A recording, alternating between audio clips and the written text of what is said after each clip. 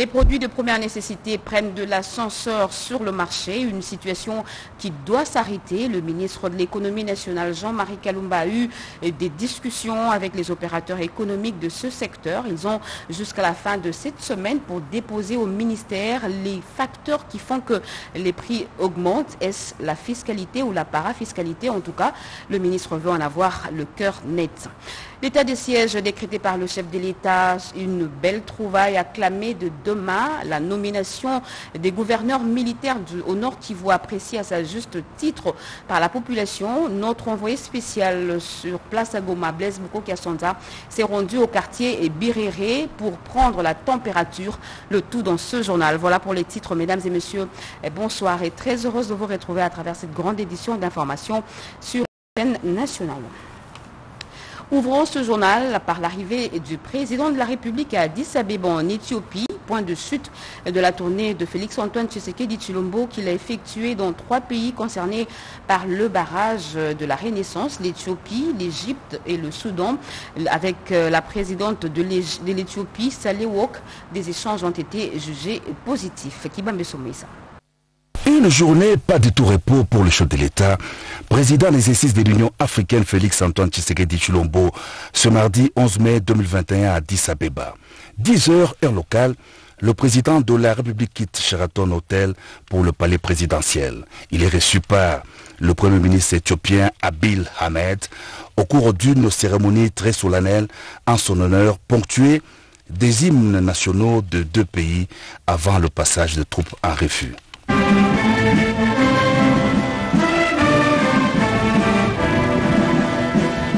Le cérémonial d'accueil terminé, le Premier ministre éthiopien et sa délégation s'entretiennent pendant plus d'une heure avec le président de la République. Au terme de cette séance de travail dont rien n'a filtré, le président de l'Union africaine a été accueilli par la présidente de la République fédérale démocratique de l'Éthiopie, Saul Horko Zeudi.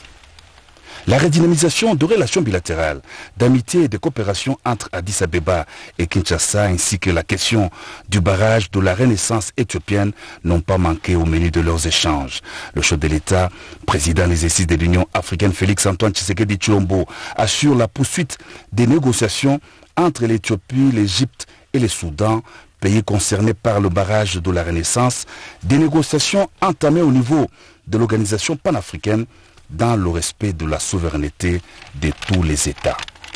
Le président de la République a pris congé de son homologue de l'Éthiopie au terme des échanges jugés positifs dans la dynamique des négociations autour du barrage de la Renaissance. Et bien avant de se rendre en Éthiopie, le président de la RDC et président en exercice de l'Union africaine a été, invité à l'inauguration du pont euh, Kazungula en Zambie. Cette infrastructure imposante qui relie la Zambie au Botswana. Regardez. The dam is over, comme disent les Anglais. C'est fait. Le pont Kazungula est ouvert au trafic. Nous avons été les privilégiés, les premiers à entrer sur ce pont à la suite chef de l'État jusqu'au Botswana. Et ça, la première partie de la cérémonie s'est déroulée là au, Botswana et la deuxième partie c'était ici en Zambie, Kazungwa du parti Zambie. Écoute, le pont a coûté plus ou moins 60 millions de dollars, mais également il faut savoir qu'il a été conçu par le groupe français Edis et les travaux ont été menés par Daewoo Construction Engineering, un groupe coréen. Les travaux ont débuté le 12 octobre 2014 et se sont achevés aujourd'hui pendant l'inauguration. Ce pont qui traverse le fleuve Zambèze est long de 923 mètres de longueur et 18,5 mètres de largeur. N'oubliez pas que ce pont a été conçu, comme vous l'avez dit, par les Français, mais ça appartient aux Botswanais ainsi qu'aux Zambiens. Vous allez découvrir les images de la longueur de ces ponts, mais également de la cérémonie dans son entièreté. Contrairement au programme annoncé depuis plusieurs jours, le président de la République, Félix Antoine Tshisekedi Tshilombo, est arrivé en hélicoptère ensemble avec le président zambien Edgar Chagwalugu à Kazungula du côté zambien.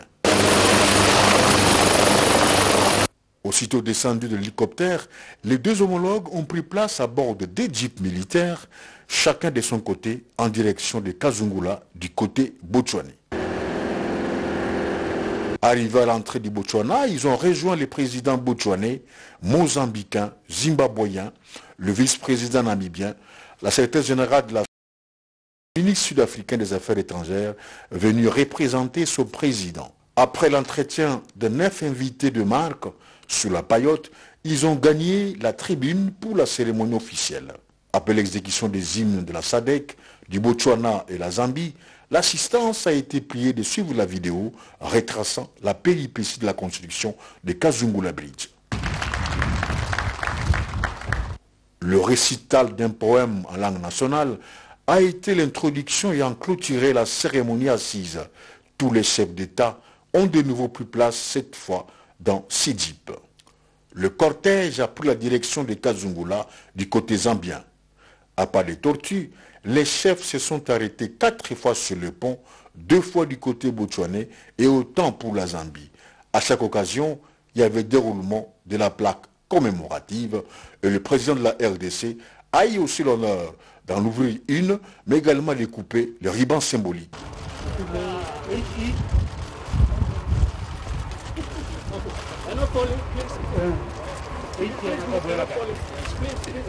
Est venue ensuite la manifestation solennelle sur le parking derrière le bâtiment de la douane étalant sa nouveauté. Tous les chefs d'État ont pris la parole tour à tour. La première à intervenir fut la secrétaire générale de la SADEC et le dernier a été Félix Antoine Tshisekedi, président en exercice de l'IA. À cet égard, les ponts de cette envergure constituent autant de passerelles entre nos États et nos peuples qu'un facteur de fluidité des activités économiques sans lesquelles rien de durable ne peut être construit pour l'unité et la solidarité africaine et la prospérité de notre continent. Comme je l'ai affirmé le 6 février 2021 à Addis Abeba en Éthiopie, dans le discours d'acceptation de mon mandat à la tête de l'Union africaine, le démarrage des échanges dans le cadre de la ZLECAF représente un acte d'indépendance économique de l'Afrique. Par cette déclaration, j'ai voulu exprimer ma ferme conviction en notre collective de réaliser les objectifs assignés à la zone de libre-échange continentale.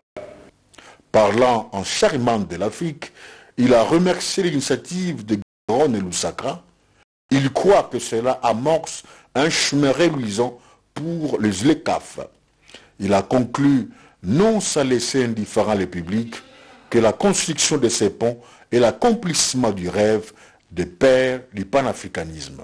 Comme au début et à le Zambien Edgar Lumbu et le président Zambike Dou, les dit ont pris place dans le même hélicoptère. Le président de la République démocratique du Congo a quitté Livingstone pour Addis Revenons à Kinshasa où les responsables des régies financières ont eu un tête-à-tête avec le Premier ministre dans son cabinet de travail. Et peu avant, le chef du gouvernement a présidé la réunion du comité de conjoncture économique où des décisions ont été prises pour l'amélioration de la situation économique de la RDC. Marcel Moubenga et Pati Tondouan. L'évolution de la situation économique de la République démocratique du Congo, la réunion du comité des conjonctures de ce mardi 11 mai, présidée par le Premier ministre Jean-Michel Samaloukonde Kenge, a constaté d'une part la hausse des prix des denrées des premières nécessités et d'autre part en positif la hausse des cours des métaux à l'international malgré quelques ventes qui ne respectent pas la traçabilité. À ce sujet, le chef du gouvernement a instruit. Le Premier ministre a pris l'option de voir avec euh, le ministre de l'Agriculture ce qui pourra être fait pour la diversification et l'auto-prise en charge de l'autosuffisance alimentaire au niveau international. Nous avons constaté un regain d'optimisme et la reprise des affaires effectivement. Nous avons constaté quelque chose qui est positif par contre, c'est la hausse du cours des métaux qui va permettre probablement d'avoir euh, plus de revenus au niveau euh, interne. Mais également à cet effet, il a été euh, constater qu'il y a un certain nombre de métaux qui sont vendus notamment dans les pays voisins qui ne sont pas retracés au niveau des recettes de notre, de notre pays. Et le Premier ministre a donné des instructions à Madame le ministre de Mines pour qu'un effort soit fait de manière à retracer euh, les, manques à gagner pour notre pays. nous avons également parlé de la situation de notre monnaie et c'est réaffirmé. Et nous avons noté également que la Banque centrale a fait une hausse, il y a une hausse des réserves d'échange, ce qui conforte la solidité de, notre monnaie. Les responsables des régies financières ont été de leur côté rappelés à l'ordre par les chefs de l'exécutif national, Jean-Michel Samaloukonde Kienge, qui tient à la mobilisation des recettes pour donner au gouvernement le moyen de sa politique. Il voulait personnellement euh, nous voir pour nous préciser l'importance que son gouvernement porte sur la mobilisation des recettes. Il a constaté l'élan actuel des recettes qui est en hausse et il nous a demandé de maintenir euh, cet élan-là pour sa part, la MONUSCO entend offrir son soutien au gouvernement de l'Union sacrée de la nation. Son directeur de la division des affaires politiques l'a dit au sortir de l'audience qui lui a accordé le Premier ministre. Il a donc été question d'examiner la mise en œuvre du partenariat gouvernement MONUSCO pour permettre à celle-ci d'agir de manière rapide et efficace, a conclu François Grignot. Eh bien, de 1997 jusqu'à ce jour, le prix du carton Piodi, communément de Chinchard, communément appelé Piodi, a connu une évolution de 30 dollars à 90 dollars le minimum. Eh le ministre de l'économie nationale, Jean-Marie Kalumba, s'interroge sur cette évolution alors que le fournisseur reste le même et le mécanisme également. Il en a évoqué ce matin avec les opérateurs économiques de ce secteur à qui il a demandé de déposer au ministère tous les facteurs qui contribuent à la hausse de cette denrée de grande consommation sur le marché. Regardez. La baisse des prix de produits de première nécessité sur le marché désormais dans le viseur du ministre de l'économie nationale. Nourrir les ventres des Congolais à un prix abordable par tous étant l'une des priorités de la vision du président de la République, Félix Antoine Tshisekedi Chilombo, le gouvernement Samaloukonde s'y emploie déjà.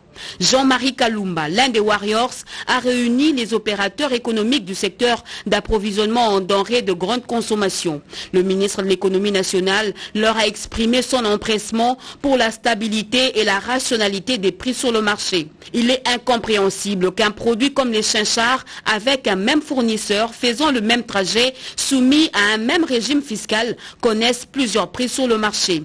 115 dollars par-ci, 58 dollars par-là, l'écart inexplicable. Les opérateurs économiques qui ont suivi attentivement le ministre ont leur raison, mais pour le patron de l'économie, ils ont jusqu'à la fin de la semaine pour fournir des explications variation intempestive de prix. Il a souhaité échanger avec les opérateurs économiques, spécialement les importateurs, pour voir les paramètres qui influencent le prix en interne comme à l'extérieur.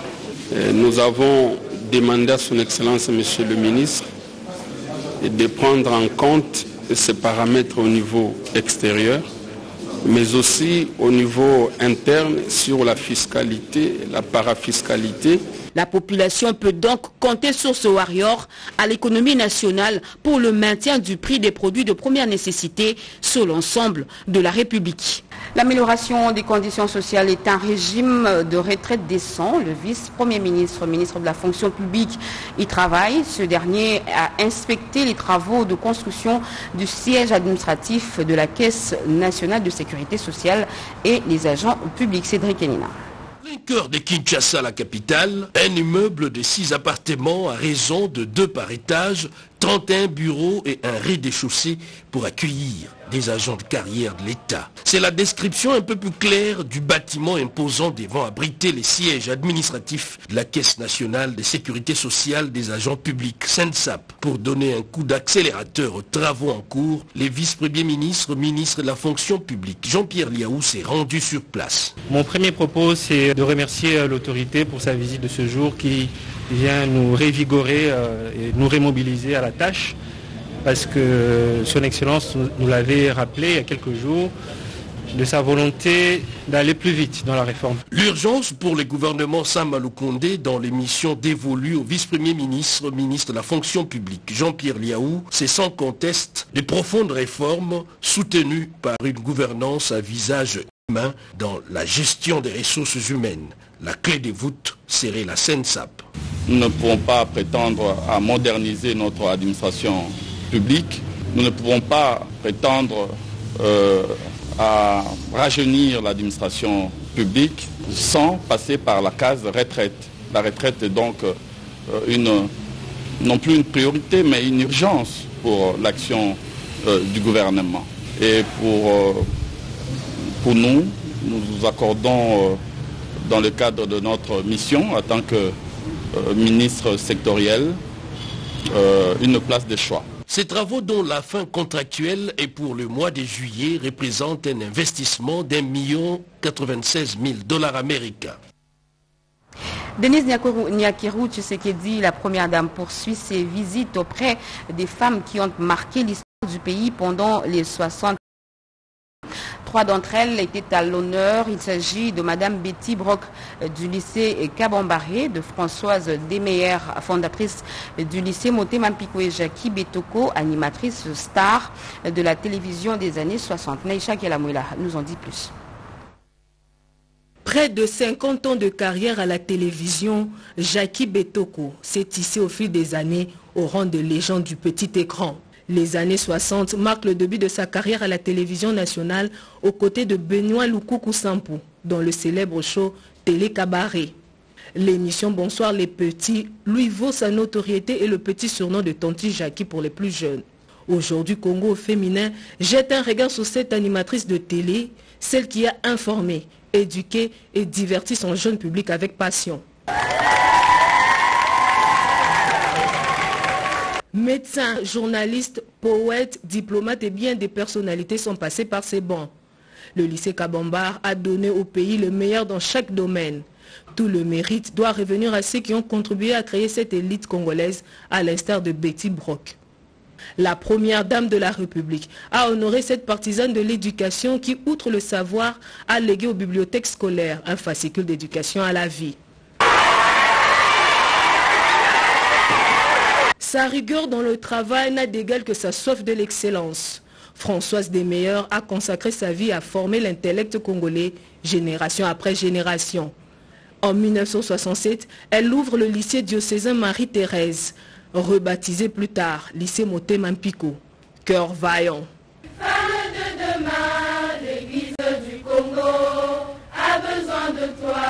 Faire partie de l'histoire et ne pas être oublié, Congo au féminin, au-delà de la reconnaissance, impose à tous un devoir de mémoire.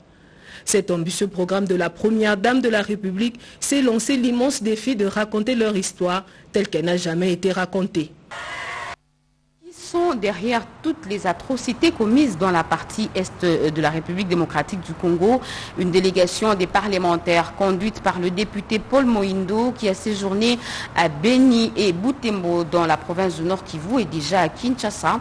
Elle a déposé son rapport au président de l'Assemblée nationale. Sylvie Moembo nous en parle speaker de la Chambre basse du Parlement, Christophe Mbosoko Diapwanga, avait annoncé sa détermination de tout mettre en œuvre pour le retour de la paix dans l'est du pays. À l'heure où les autorités militaires ont pris leurs fonctions suite à l'état de siège, six députés nationaux ont été dépêchés à Béni avec à sa tête le député national Paul Moindo. Les élus légitimes du peuple ont écouté attentivement ceux qui vivent au quotidien les atrocités des groupes armés à Béni.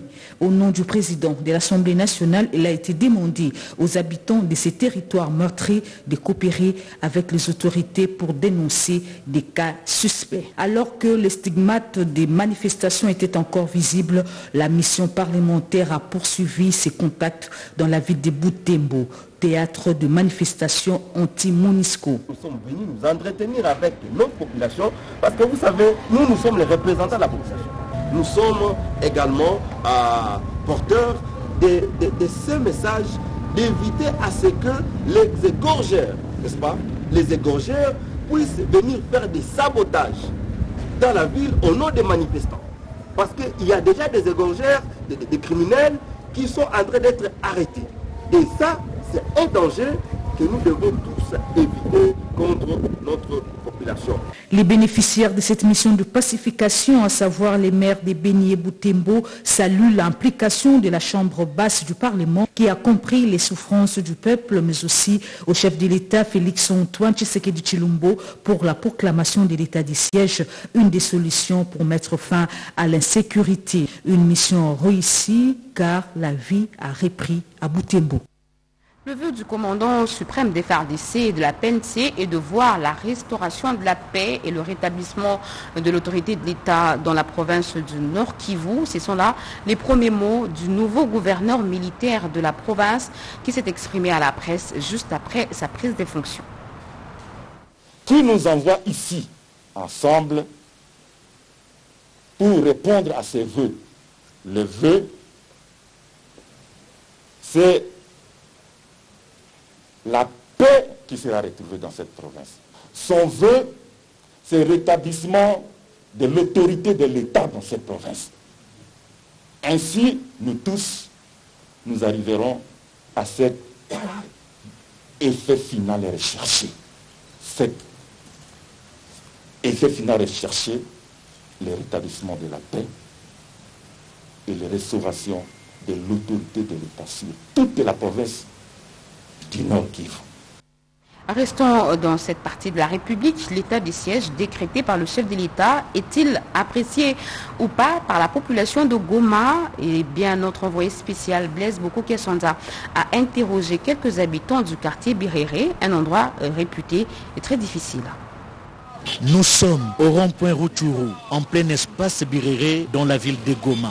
Des sources sûres et concordantes nous apprennent que Birere est le géniteur du chef de la province et du Nord Kivu. Birere, c'est aussi l'épicentre des activités commerciales, de l'import à l'export, les petits détails, en passant par les commerces à la sauvette et à la criée, tout y est. L'ambiance est au rendez-vous quotidien. Si Birere s'arrête aujourd'hui, c'est toute la ville de Goma qui dort. Mais au-delà de la débrouillardise, l'état de siège décrété par le chef de l'État, Félix-Antoine Tshisekedi Chilombo, et la nomination du gouverneur militaire à la tête de cette province s'invite au débat de la population locale longtemps meurtrie par les atrocités de tout genre. La population du Nord Kivu, de Goma, chef-lieu de la province, et particulièrement les jeunes, nous avons accueilli avec euh, satisfaction euh, cette mesure d'état de siège, y compris les grands pouvoirs qu'il donne au tout nouveau gouverneur. Nous pensons que c'est une mesure salvatrice qui va nous aider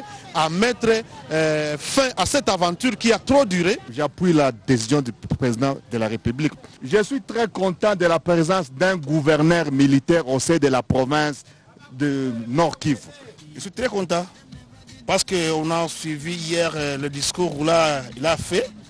Là-bas, l'arrivée, on très content avec ça.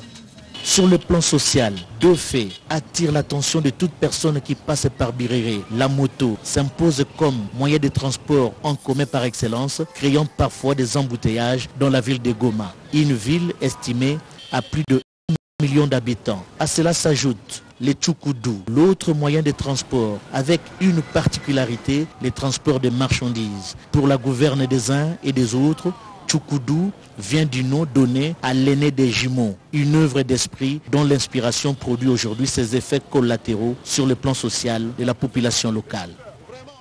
Rendons-nous tout de suite en Ituri où les nouvelles autorités militaires ont pris le manège, ont pris le contrôle de la ville. Eh bien, le gouverneur Johnny Luboya et son adjoint ont pris possession de leur pouvoir au cours d'une cérémonie de, de remise-reprise.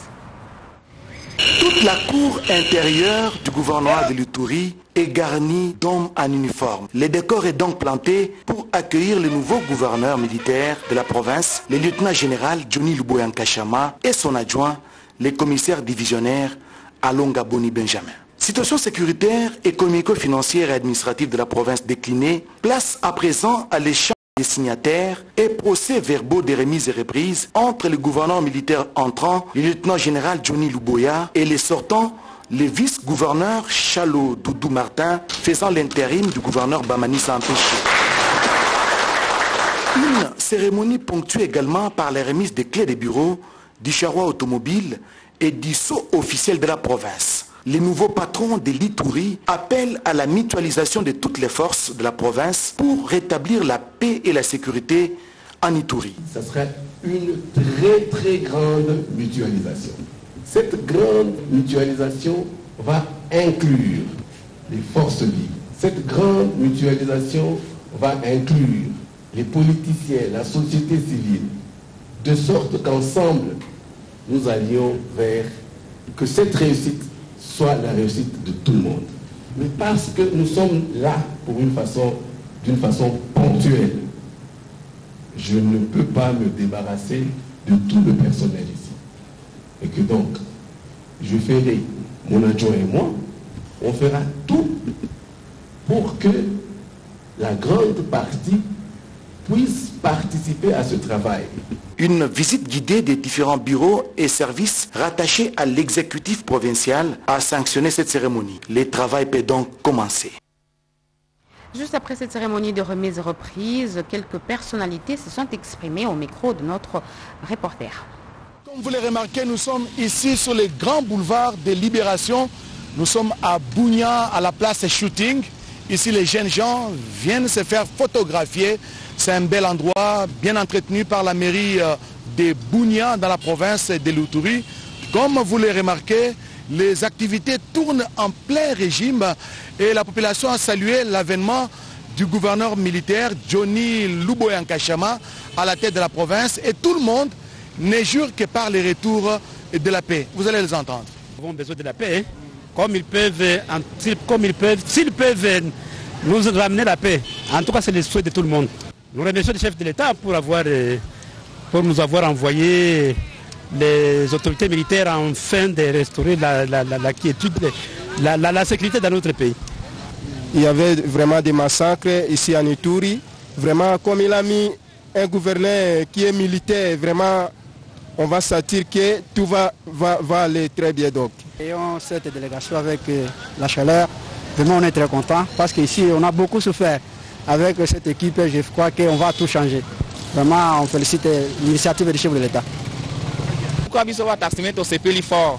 Pour arriver à gouverneur mais loko to senga na e en tout cas asala msala na e eh, mais na côté ba taximene eh, ba taximene pe baza moi vigila to zala moi a contact soki munguna aza mwa quelque part nek to sala ba course na biso eh, ameka opesa biso mwa banimero telefone mpona makambo mwa basinyale mke. No, saa zingine ile dute haweze kutusaidia kutosha ile dute ndani yetu, ile yenye tu kunawazia isikuwe njo vile. Me, kama atatutrete sawa soda, itakuwa na iko inutile, haitakuwa vraiment kitu ya maana sana kwetu. Bon, tunaambia Felix Antoine chisekedi Chilombo, bon, tunamufelisite par rapport na baprezida bengine, tunaona saa zingine iko na tante kukwa sa iko na jali population?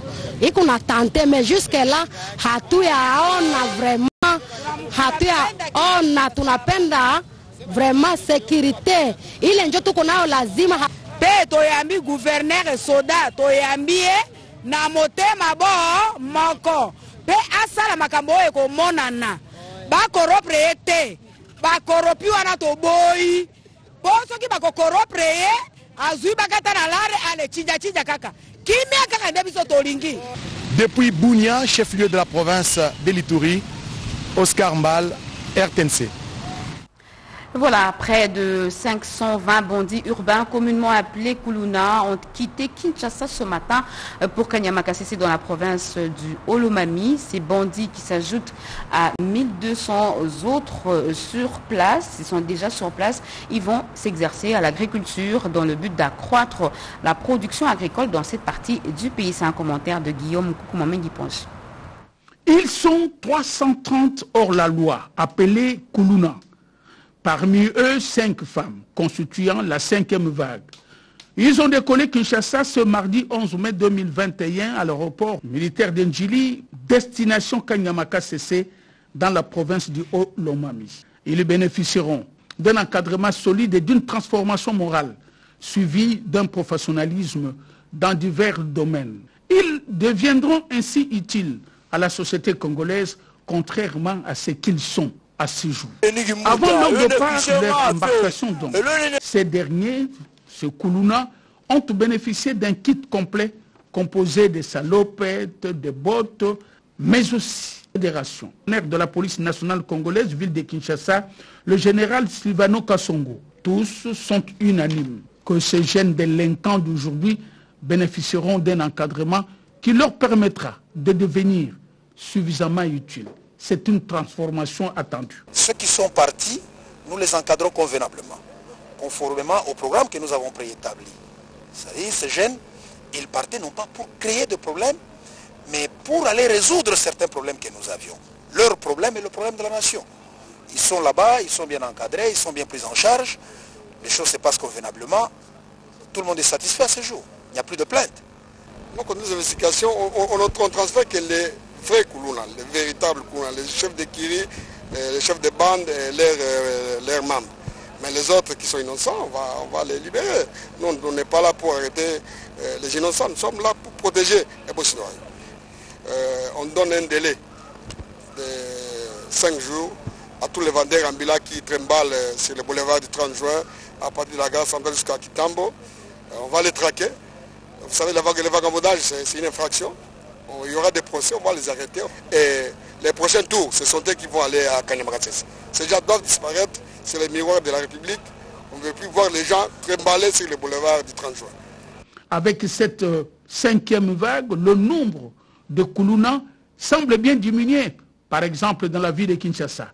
La même opération va se poursuivre à travers toutes les provinces de la République démocratique du Congo, avec comme objectif de débarrasser la République démocratique du Congo de tous ceux qui troublent la paix et la sécurité, ceux qui créent les désordres. Les Congolaises et les Congolais ont leur point de vue, ils n'en veulent pas. La Société nationale d'électricité SNEL SA, département de distribution de Kinshasa, informe son aimable clientèle de la poursuite des travaux de modernisation de la sous-station Massina le mercredi 12 mai 2021. À cet effet, la fourniture de l'énergie électrique sera interrompue dans certains quartiers des communes de Massina, Njili et Kimbansek de 8h à 18h. La situation pourra être rétablie aussitôt que les travaux prendront fin. Pour toute information utile, nos centres des ventes euh, et services sont à la disposition de la clientèle ainsi que le call center 170 188 SNEL SA présente ses excuses pour ce désagrément. Département fait à Kinshasa le 11 mai 2020. 21. Et puis la régie des OSA, direction provinciale de Kinshasa, informe ses abonnés de parties centre et ouest de la ville que suite aux travaux de, réparation des fuites dans son réseau de distribution, son usine de traitement d'eau d'Ongaliema sera en arrêt ce mercredi 12 mai 2021 à partir de 8 heures jusqu'à la fin des travaux. Par conséquent, des manques d'eau et perturbations seront dans la fourniture d'eau dans les communes et quartiers ci-après, Gombe, Lingwala, Kassavubu, Bandalungwa, Kintambo, Montfleury, Jamaïque, ma campagne, Joli Parc, Ozone, Météo, Delvo, Djelombinza, Upen, Sangamamba et Ngomba Kikusa. La régie des eaux a pris les abonnés concernés de bien vouloir se constituer des réserves d'eau et de l'excuser pour ce désagréments euh, liés à cette intervention. Elle les rassure au rétablissement euh, de la desserte dès la fin de travaux faits à Kinshasa le 11 mai. direction provinciale de Kinshasa, l'ingénieur Jean Bosco euh, Mwaka Indele. Eh bien, l'éthique professionnelle, la déontologie et la dépénalisation des délits de presse étaient au cœur de cet atelier organisé par l'Union nationale de la presse du Congo, atelier ouvert par le ministre de la Communication et des médias porte-parole du gouvernement, Patrick Mouyaya. Regardez. Cadre de l'UNPC, recteur des universités, ainsi que différents participants attendent l'arrivée du ministre. Patrick Mouyaya, ministre de la Communication et médias, est attendu pour le lancement d'un atelier. Thème retenu, éthique, déontologie et dépénalisation des délits de la presse. Des assises organisées conjointement par l'UNPC et la MONUSCO. Pour permettre à ce que cet atelier se tienne Dans le lot de participants figure aussi Aubin Abedi. Ces journalistes pigistes attendent avec intérêt la communication du ministre. J'aimerais bien que Patrick Mouyaya, lui en tant que ministre des Communications, puisse revenir euh, sur la liberté de la presse. Quelques minutes après, le ministre de la Communication et Médias va faire son apparition. Dans son allocution, Patrick Mouyaya va inviter le journaliste à plus de professionnalisme. Et ce professionnalisme ne passerait pas sans le respect strict du code éthique, des déontologies et dictées euh, pour l'exercice du métier en RDC. Le petit manuel jaune du code éthique et des déontologies du journaliste congolais doit demeurer cette petite Bible pour tous ceux qui exercent le métier en RDC. Il a également rappelé le rôle et attitude à adopter par le journaliste en temps de guerre ou d'état de siège. Nous sommes dans une période particulière avec euh, cette question sur euh, l'état de siège la responsabilité du journaliste est engagée dans la manière de couvrir l'information. Pour le président de l'Union nationale de la presse congolaise, la communication du ministre est plus qu'une interpellation à l'endroit des journalistes congolais. Un journaliste, c'est un étudiant à vie. Nous organisons des formations, des mises à niveau.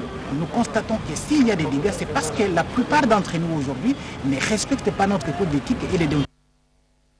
Et ce communiqué nécrologique, avant de boucler complètement ce journal, le général de brigade, docteur euh, Claude Singh Bungiena, et son épouse, docteur Marie-Christine Kassengela Luambois. Les familles Singa et Luambois ont la profonde douleur d'annoncer aux parents, frères, amis et connaissances le décès de leur fils aîné et petit-fils, Rinachita Bitodi Bungina, affectueusement appelé Richie, décédé le 7 mai 2021 à 1h55 à l'hôpital Moncolé à Kinshasa à l'âge de 25 ans et demi. Le programme des obsèques se présente comme suit jeudi 13 mai 2021 à 18h. Une messe d'action de grâce sera dite dans la résidence familiale 6 avenue, numéro 37 avenue des Rosiers, quartier Binza Météo, commune de Ngalima à Kinshasa, le vendredi 14 mai 2021 à 9h juste. Départ de la résidence familiale pour la morgue de l'hôpital de Montcollet, 10h30, mise en bière, 11h. 12 heures levé du corps pour l'inhumation au cimetière Vallée de l'Espérance, 15 heures juste retour à la résidence familiale, mot des circonstances et bain de consolation, fait à Kinshasa le 10 mai, général Claude Nsinga Bungina. Voilà, c'est par cette note triste que nous bouclons complètement ce journal. Merci de l'avoir suivi. Merci à vous qui nous suivez à Goma, dans la province du Nord Kivu et partout ailleurs sur satellite. Vous êtes sur la RTNC. L'actualité continue sur nos antennes. Grand sera pour moi le plaisir de vous retrouver le mardi prochain, Inch'Allah, sur la même heure.